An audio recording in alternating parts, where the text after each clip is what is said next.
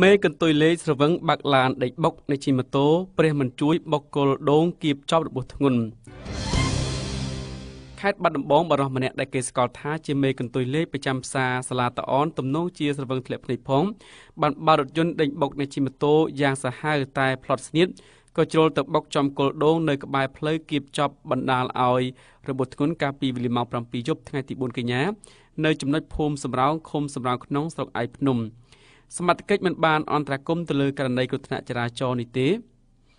ដោយសំអាងថារថយន្តនេះបង្កគ្រោះថ្នាក់ដោយខ្លួនឯងរថយន្តនោះម៉ាកកាមរីឆ្លាមពណ៌ប្រផេះពាក់ស្លាកលេខបាត់ដំបង 2A6629 ដែលបើកបោះដោយបរិសឈ្មោះសុងសាវិតនៅភូមិសំរោងស្នោឃុំសំរោងក្នុងស្រុកឯកភ្នំ អ្នកភូមិបាននិយាយថារថយន្តបានបើកលឿនដេញម៉ូតូមួយគ្រឿងលើផ្លូវបត់បែននិងតូចចង្អៀតនៅក្នុងភូមិដែលទំនងអ្នកបើកបរស្ថិតក្នុងស្ថានភាពស្រវឹងផងលុះមកដល់ចំណុចខាងលើក៏ចូលចង្កូតទៅខាងឆ្វេងបោកផ្ទប់ជាប់នឹងគល់ដងតែម្ដងសាកសីបញ្ជាក់ថាម្ចាស់រថយន្តនោះត្រូវទ្វាររថយន្តគៀបជាប់របួសយ៉ាងធ្ងន់ធ្ងរហើយអ្នកភូមិនិងក្រុមគូសាបានចំណាយពេលយ៉ាងយូរក្នុងការកោះយកអ្នកបើកបរដែលពោពេញទៅដោយឈាមយកចេញពីក្នុងរថយន្តដើម្បីបញ្ជូនទៅកាន់មន្ទីរពេទ្យ កសន្តិភាពសម្រាប់គ្រប់សតវណ្ណៈ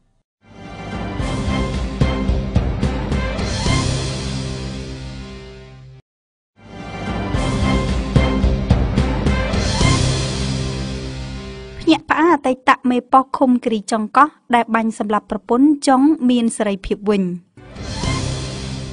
ពីខេត្តតកែវសមត្ថកិច្ចក៏ដូចជាប្រជាពលរដ្ឋមានការភ្ញាក់ផ្អើលយ៉ាងខ្លាំងនៅពេលដែលពួកគេឃើញវត្តមានឃាតករម្នាក់មានសេរីភាពដោយត្រឡប់មកផ្ទះវិញដើរនិយាយអួតប្រាប់អ្នកដែលធ្លាប់ស្គាល់គ្នាថារូគេត្រឡប់មកវិញគឺមកកាន់តំណែងជាប្រធានប៉ុស្តិ៍រដ្ឋបាលឃុំគិរីចុងកោះនៃស្រុកគិរីវង្សវិញខណៈដែលឃាតកររូបនេះជាប៉ូលីសបានយកកំភ្លើងខ្លីបាញ់សម្លាប់ប្រពន្ធចុងរបស់ខ្លួនរួចរត់គេចខ្លួនអស់រយៈពេល5ខែប៉ុណ្ណោះស្រាប់តែត្រឡប់មកវិញហាក់ដូចជាគ្មានរឿងអ្វីទាំងអស់មន្ត្រីប៉ូលីសស្រុកគិរីវង្សបាននាំគ្នានិយាយថារយៈពេល2ទៅ3ថ្ងៃនេះឃាតករឈ្មោះស៊ិនពៅជាអតីតមេប៉ូលីសប៉ុស្តិ៍រដ្ឋបាលឃុំគិរីចុងកោះបានត្រឡប់មកវិញក្រោយពីបាញ់សម្លាប់ប្រពន្ធចុងរបស់គេហើយបានរត់គេចខ្លួនរហូតនៅពេលគេត្រឡប់មកវិញនោះគេនិយាយប្រាប់មន្ត្រីប៉ូលីសដែលធ្លាប់ស្គាល់គ្នាថា គេនេះមកធ្វើជាប៉ូលីសវិញនិងជាមេប៉ុស្តិ៍ដដែល ករណីនេះធ្វើឲ្យពួកគាត់ងឿងឆ្ងល់គ្រប់គ្រប់គ្នាមិនដឹងថាពីរតជនម្នាក់នេះមានខ្នងបង្អែកធំប៉ុណ្ណានោះទេរហូតខ្លាយជាឃាតករបាញ់សម្លាប់មនុស្សហើយ